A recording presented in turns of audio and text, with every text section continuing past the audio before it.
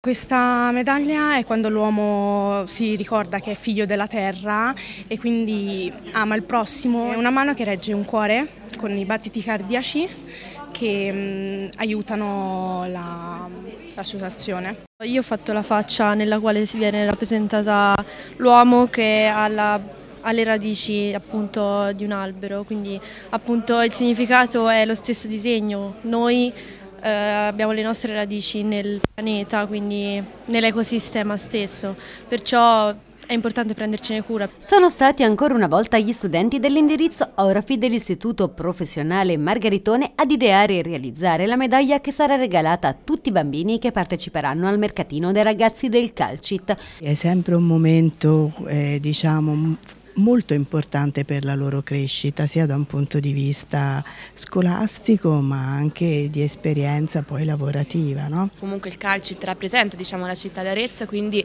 eh, sono molto soddisfatta di quello che abbiamo realizzato, grazie anche comunque all'aiuto delle altre mie compagne di classe. La settantesima edizione della manifestazione è in programma per domenica 12 maggio. Nella zona Eden oltre 250 banchi e circa 400 ragazzi accompagnati da altrettanti genitori per raccogliere fondi da destinare al servizio scudo cure domiciliari oncologiche. Vista anche la, la buona giornata che si preannuncia, penso anche con tanti visitatori, perciò confidiamo in un buon incasso. Naturalmente ringrazio il Calcit come al solito per questa iniziativa e soprattutto anche per lo scopo dell'iniziativa che è quello di finanziare la ricerca e la cura eh, dei malati oncologici a produrre mille esemplari della medaglia come ogni anno un'azienda aretina del territorio. È sempre bello essere vicino alla città, essere vicino al Calcit e soprattutto come ex studente di questa scuola sono particolarmente affezionato